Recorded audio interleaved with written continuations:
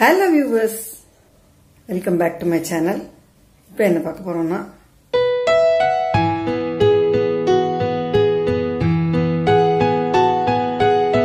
தீபாவளி ஸ்நாக்ஸுக்கு ரவா ரிப்பன் பக்கோடா. அதுக்கு ஹாஃப் அழாக்கு ரவை பாம்பே ரவை எடுத்துட்டுருக்கேன் இந்த ரவையை வச்சே நல்ல கிறிஸ்பியாக ஸ்நாக்ஸ் பண்ணலாம்.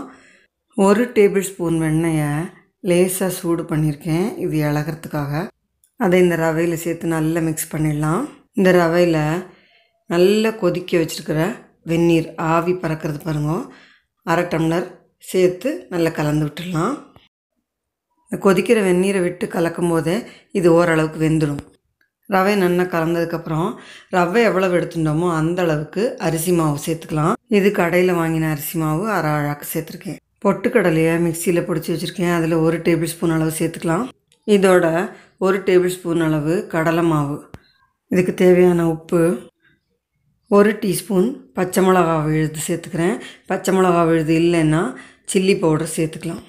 இதோட ஹாஃப் டீஸ்பூன் பெருங்காயப்பொடி சேர்த்து இந்த உப்பு பெருங்காயம் சில்லி பேஸ்ட் எல்லாம் நல்லா கலக்கிற மாதிரி தண்ணி தெளிக்காமல் முதல்ல கலந்து விட்டுக்கலாம். ஏன்னா ரவையில் கொஞ்சம் ஈரப்பதம் இருக்குது அதனால் அப்புறமா கலந்துட்டு பார்த்து தண்ணி தெளித்து பிசைஞ்சிக்கலாம்.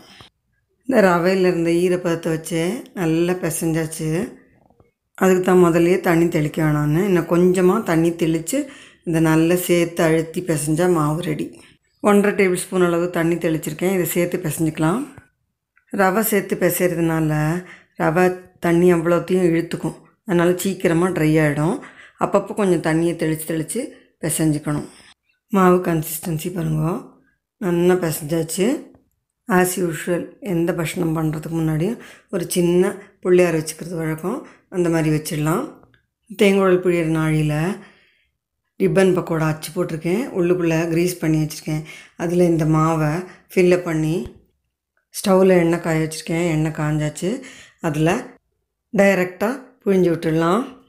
நம்ம சேனலில் ஏற்கனவே ஸ்டோர் பாட் பவுடர் பச்சரிசி மாவில் ரிப்பன் பக்கோடா பண்ணி காமிச்சிருக்கேன் அதே மாதிரியே புழுங்கல் அரிசியை அரைச்சி அதுலேயும் ரிப்பன் பக்கோடா பண்ணி காமிச்சிருக்கேன் முதல்ல எண்ணெய் நல்லா காயணும் புழிஞ்சதுக்கப்புறம் அதை மீடியம் ஃப்ளேமில் வச்சிடலாம் ரிப்பன் பக்கோடா புழிஞ்ச உடனே டிஸ்டர்ப் பண்ண வேண்டாம் ஒரு ஃபியூ செகண்ட்ஸ் விட்டுட்டு இப்போது திருப்பி போடலாம் ரிப்பன் பக்கோடா வெந்தாச்சு கொதி அடங்கி எடுத்து இப்போ இதை எடுத்துடலாம் அடுத்த ஈடும் வெந்தாச்சு எடுத்துட்டேன் பதினஞ்சே நிமிஷத்தில் அருமையான ரிப்பன் பக்கோடா ரெடி ஹார்டாக இல்லாமல் சாஃப்டாக இருக்கும். டக்குன்னு உடைக்க முடியும்.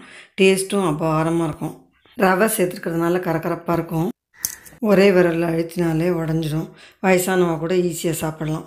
டேஸ்ட்டும் சூப்பராக இருக்கும். இந்த ஈஸியான ரிப்பன் பக்கோடாவை வியூவர்ஸ் பண்ணி பாருங்க. உங்கள் கமெண்ட்ஸ் எல்லாம் போஸ்ட் பண்ணுங்க. இந்த வீடியோ உங்களுக்கெல்லாம் பிடிச்சிருக்குன்னு நினைக்கிறேன். லைக் பண்ணுங்க ஷேர் பண்ணுங்க சப்ஸ்கிரைப் பண்ணுங்க. தேங்க்யூ ஃபார் வாட்சிங்